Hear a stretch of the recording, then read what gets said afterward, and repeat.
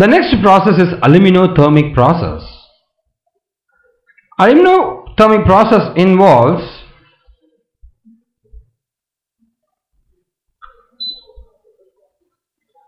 a fire clay crucible like this. So chromic oxide is mixed with the powdered aluminium in the ratio of 3 is to 1 and it is placed in a very large fire clay crucible. So the mixing is that you got your barium oxide and magnesium powder here with magnesium ribbon, the fire clay crucible and sand. You got sand here. And chromic oxide and aluminium here, fire. Here mixture of barium peroxide and magnesium powder is placed so on top of this one as I told.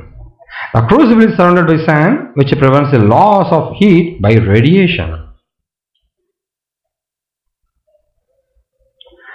The molten chromium is collected in the crucible and the aluminium oxide is removed as slag. Here is the equation. Chromium oxide plus aluminium will give chromium and aluminium oxide with a huge temperature or energy out. That's a 468.6 kilojoules.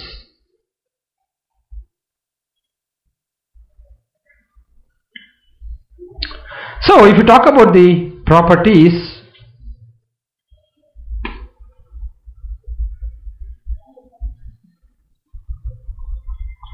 So, the metal is silvery white and crystalline in the physical property area.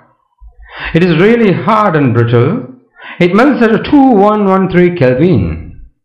If we discuss on the chemical properties, I'm going to talk about the action of air, action of water and action of acids. Now, the metal, as I told, it's silvery white and crystalline, hard and brittle, and it melts at 2113